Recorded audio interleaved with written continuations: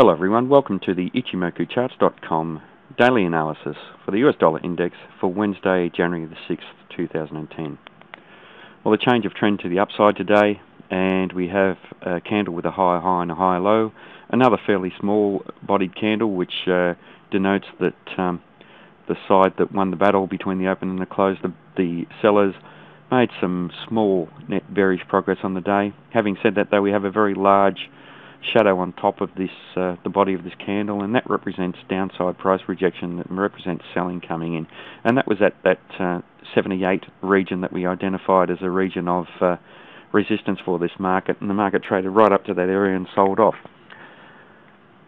Now the market is still trading within this um, fairly large flag pattern and fa has failed to break out. There is potential for the market to break out to the upside uh, because these patterns tend to be continuation patterns but not always. And the only evidence of it being a continuation or a reversal will be the breakout, and also um, we would need a solid breakout, um, which means that we would like to see a fairly bullish breakout if the breakout's to the upside, or a bearish breakout if the breakout's to the downside.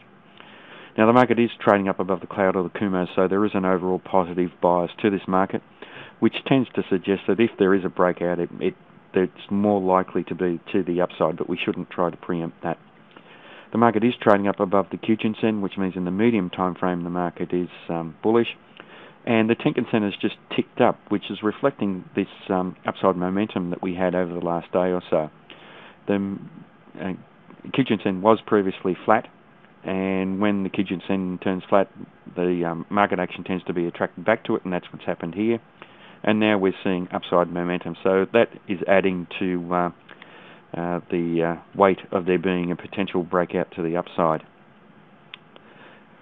However, the market is still uh, trading down below the Tenkan Sen, which represents the trend in the uh, fast time frame.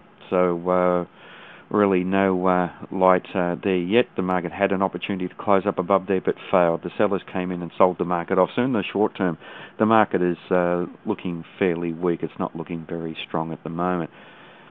Uh, having said that, though, uh, what we said at the start of this uh, this video, we did have a change of trend to the upside with a higher high and a higher low. So there is uh, potential for the market to continue trading up.